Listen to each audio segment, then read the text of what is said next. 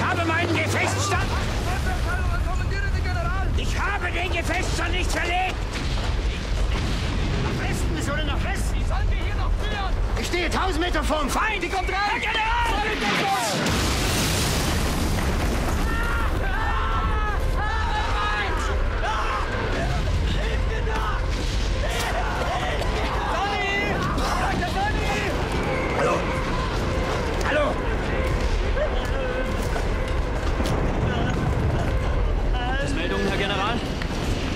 Soll erschossen werden.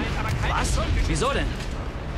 Man glaubt, ich hätte meinen Gefechtsstand von Südosten vom Feind weg nach Döberitz im Westen verlegt. Wer vernünftig, Herr General? Kommen Sie mit.